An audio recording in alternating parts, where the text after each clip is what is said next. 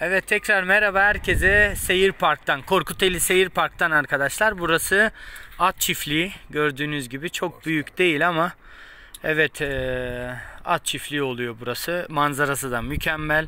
Evet şurada gördüğünüz Türk bayrağı. Evet harika gözüküyor buradan. Genel anlamda da Korkuteli burası oluyor değil mi arkadaşlar? Evet evet. Evet Bayram arkadaş ve Ahmet arkadaş kendileri Korkuteli. Evet. Evet abi. Saat kaçta açılıyor burası? Bir bilgiye sahip Ee, miyiz altı- arkadaşlar? Altıya Bundan doğru. önce mümkün değilmiş.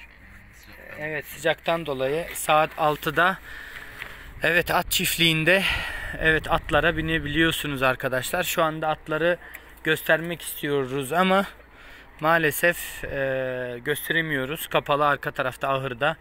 Koronadan dolayı korkudan kimseyi yaklaştırmıyorlar atlara ve archery var. Archery neydi arkadaşlar? Okçuluk. Evet İngilizcesi archery oluyor. Evet okçuluk saat kaçta? Ama bir bilgi yok ya. Bir bilgi yok mu? Evet en yakın zamanda böyle bir bilgiye ulaştığımız zaman sizlerle paylaşacağız arkadaşlar. Görüşmek üzere diyoruz. Seyir Park'tan herkese selamlar. Harika bir seyir park. Gerçekten mükemmel.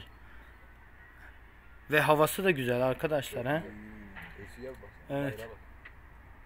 Evet bayraktan belli oluyor. Çok güzel esinti var ve Korkuteli'nin en yüksek noktası. Evet tüm Korkuteli'yi Evet kuş bakışı görebiliyorsunuz. Sanki paraşütle uçuyoruz gibi. Böyle bir his veriyor. Harika. Evet gelmeden önce at çiftliğini görmek isteyen arkadaşlar için bu kısa videomuzu hazırladık.